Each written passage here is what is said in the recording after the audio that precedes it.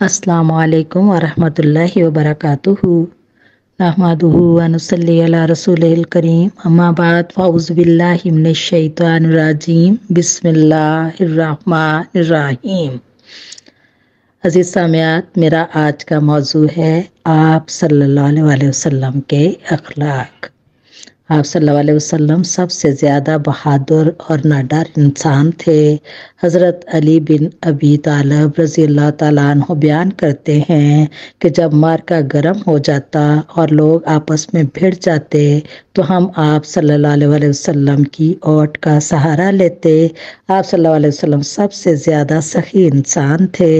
ایسا کبھی نہیں ہوا کہ آپ صلی اللہ علیہ وسلم سے کوئی چیز مانگی گئی ہو اور آپ نے انکار کیا ہو۔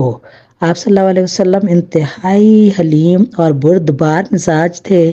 نہ کبھی اپنی ذات کے لیے انتقام لیا اور نہ اپنی ذات کی خاطر غصہ کھایا۔ یہ اور بات ہے کہ اگر اللہ تعالیٰ کی مقرر کردہ حدوں کو توڑا جائے تو اللہ تعالیٰ کی خاطر انتقام لیتے۔ حق کے معاملے میں آپ صلی اللہ علیہ وسلم کی نظر میں قریبی رشتہ دار اور اجنبی اور اجنبی طاقتور اور کمزور سب کے سب برابر تھے۔ اور یہ بات زور دیر کر کہی اور ثابت کی کہ کسی کو کسی پر کوئی فوقیت نہیں ہے سوائے تقوا کی بنیاد۔ کے۔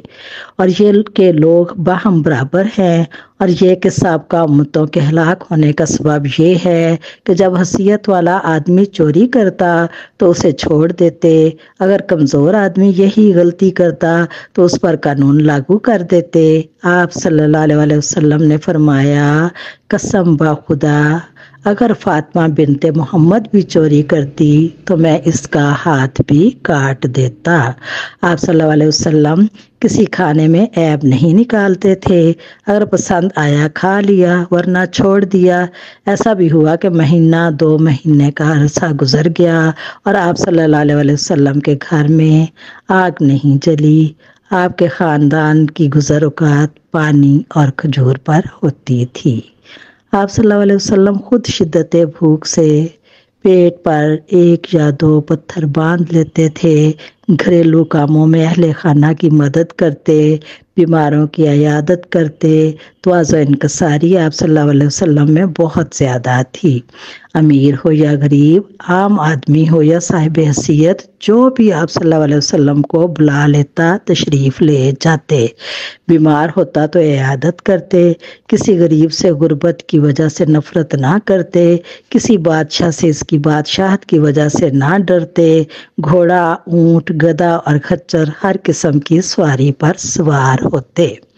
اگرچہ آپ صلی اللہ علیہ وسلم کو پریشانیوں اور مشکلات نے گھیر رکھا تھا، پھر بھی آپ بہت زیادہ مسکرانے والے اور سب سے اچھے اخلاق والے انسان تھے۔ خوشبو آپ کو بہت زیادہ محبوب تھی، تکلیف دہ بو کو ناپسند کرتے تھے۔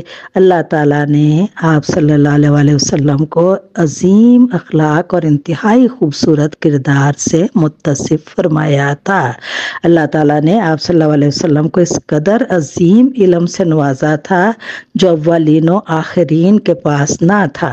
حالانکہ آپ صلی اللہ علیہ وسلم امی تھے۔ نہ پڑھ سکتے تھے اور نہ لکھ سکتے تھے۔ کسی انسان نے آپ صلی اللہ علیہ وسلم کو تعلیم نہیں دی تھی۔ اس قرآن کو آپ صلی اللہ علیہ وسلم اللہ تعالیٰ کے پاس سے لے کر آئے تھے۔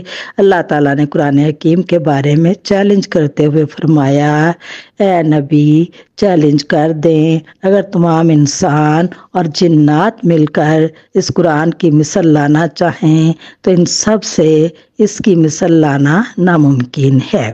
خواہ وہ میں ایک دوسرے کے مددگار بھی بن جائیں۔ جٹھلانے والوں کی زبان بند کرنے کے لیے آپ صلی اللہ علیہ وسلم بچپن سے ہی امی رہے۔ کہیں نہ کہیں اس کے اس نے اس نے قرآن لکھ لیا ہے یا کسی سے سیکھا ہے یا سابقہ کتابوں سے اقتباس کیا ہے۔ یہ تھے نبی کریم صلی اللہ علیہ وسلم کے مختصراً اخلاق۔ انشاءاللہ ایسے ہی ٹاپک تھوڑے تھوڑے کر کے بیان کرتی رہوں گی۔ اللہ تعالی ہمیں نبی کریم صلی اللہ علیہ وسلم کے نقش قدم پر چلائے اور ہمیں اطاعت رسول اور اللہ تعالیٰ کی اطاعت کرنے والا بنائے۔ آمین۔